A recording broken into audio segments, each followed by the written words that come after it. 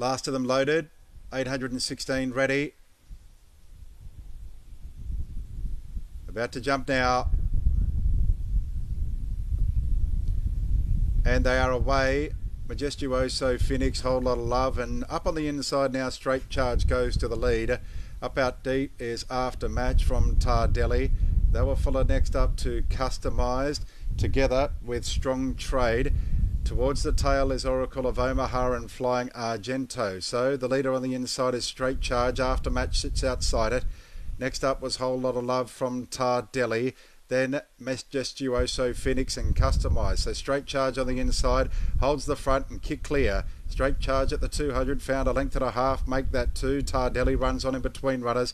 Then after match, he's still in second gear, but inside the 100. And no surprise to see straight charge be impressive. Straight charge from Tardelli after match, and then Majestuoso Phoenix from a Whole Lot of Love. Next up was Customised from Strong Trade, Flying Argento, and the tail ender was Oracle of Omaha. Straight charge. Plenty were keen to see it go around again today, and they've been pretty excited and impressed.